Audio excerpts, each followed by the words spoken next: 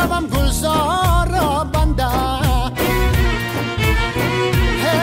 اگر بلبل صفات ناله شوم گفتار را بنده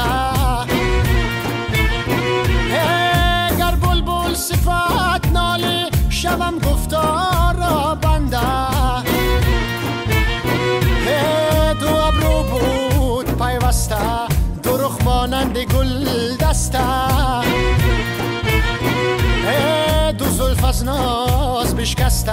شوم ناز را بنده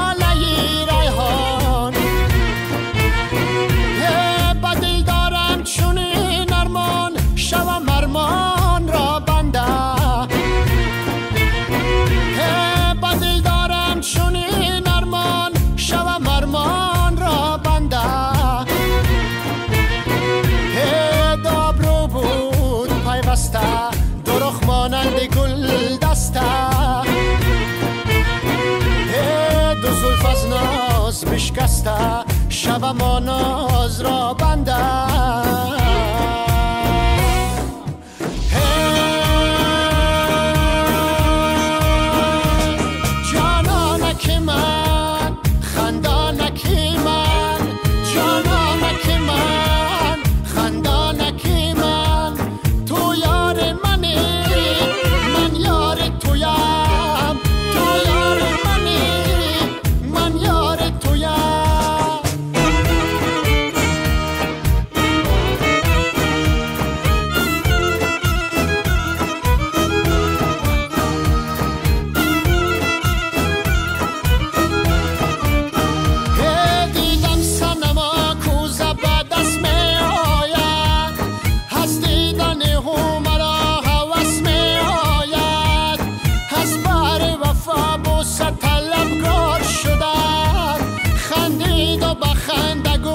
بنده جانانک من